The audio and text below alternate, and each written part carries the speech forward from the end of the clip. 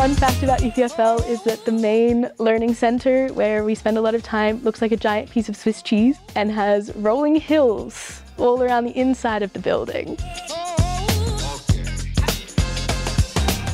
I think everyone should make an exchange because it's an opportunity to stretch yourself and to grow into a more complete person. And I think EPFL is one of the best options because it's great academically.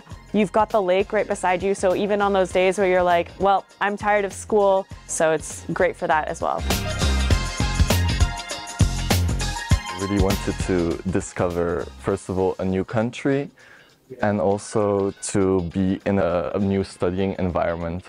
I was so excited for uh, new classes, new challenges, um, and EPFL is really great for that because they offer some really amazing options that aren't available at home or really anywhere else in the world. That's really important. The teaching here at EPFL is really unique in that it values you driving your own education. When I heard that I could come to Switzerland, it was kind of the best of both worlds because not only was it kind of an outdoor heaven, but it also presented EPFL, which is one of the best schools in computer science in the world. EPFL is a very diverse university. On this exchange alone, I've met plenty of people from different um, cultural and ethnic backgrounds.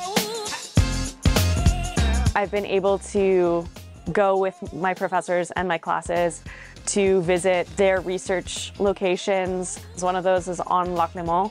I got to go and see LéXPLORE, which is um, a limnology research platform. A lot of courses are very interactive and therefore it really allows you to work practically. I really love the campus. My labs were very interesting and it's a very good university. There's different associations, there's so many sport facilities.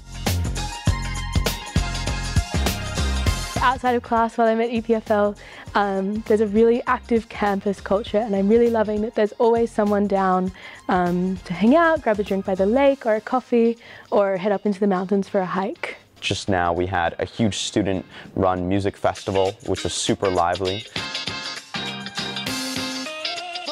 I think the language um, combination of being able to study in English and continue learning French was something that was very exciting for me. Also, the location. Once you really start talking to the locals and figure out how to really you know, set up a life within Switzerland officially, once it's all figured out, you really feel like you're at home here and you know what you're doing. The biggest piece of advice would be go on exchange do it, even though it's scary, do it anyway.